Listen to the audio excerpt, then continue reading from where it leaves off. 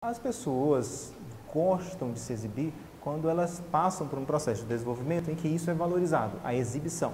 Pais é, incentivam a criança desde pequena, dançando na frente das pessoas, e ela é muito elogiada por isso, você vai ter indivíduos que gostam de se exibir. Outras pessoas não, não desenvolvem autoconfiança, se sentem inseguras em relação à sua imagem, ao que, e aí tendem a não querer se exibir. Então isso não é uma coisa que é corrente para toda a humanidade, não. Atualmente, pela facilidade do, da internet, né, das redes sociais, há uma maior potencialização né, para o comportamento exibicionista, muito maior. Tá? Então, no passado, poderiam ter pessoas que eram exibicionistas, mesmo se exibiam, mesmo não tendo internet, procuravam formas. Mas é claro que a cultura não era tão exibicionista como é atualmente. Atualmente isso é valorizado. Tem pessoas que gostam dessa exibição, gostam dos comentários, gostam do efeito que ela cause. Tem gente que diz assim, ó, falem de mim, falando bem ou mal, né? desde que falem de mim.